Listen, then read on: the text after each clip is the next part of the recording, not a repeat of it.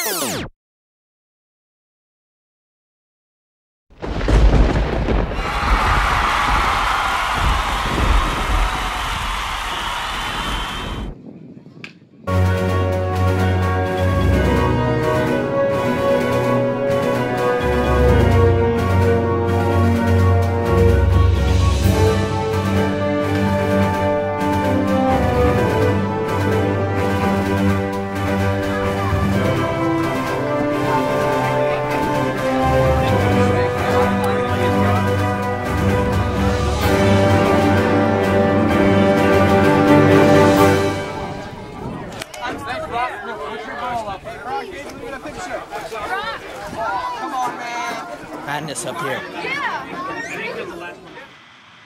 So I'm back at home and pretty solid day at the ballpark. Um, he's met Tom Caron from NESN News. he's a great guy. I talked to him for a while about the new change of pace rules and stuff like that. Um, what easily highlighted the day was meeting my boy Rafael. Um, he he is Pablo Sandoval's personal trainer, and these old ladies were trying to.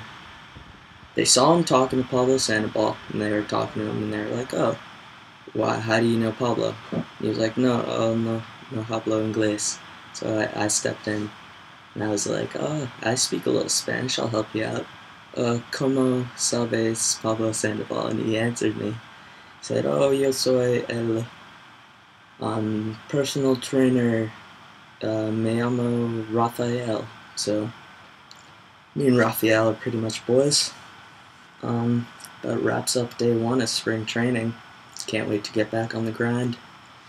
Back there 9 a.m. day two on Sunday, so stay tuned.